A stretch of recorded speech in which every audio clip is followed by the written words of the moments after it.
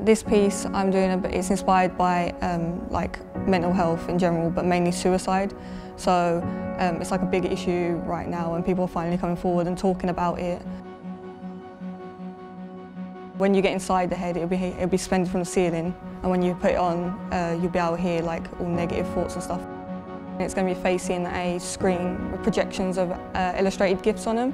From the outside it's smiling, happy, like everything seems fine. And then once you get inside it, um, the reality of what that person would actually be going through hits, it will be dark and you'll hear all the negative voices and feelings and stuff. And it's a bit like, it gets a bit overwhelming but it's trying to put people, someone in, that, in the shoes of someone who's feeling like that.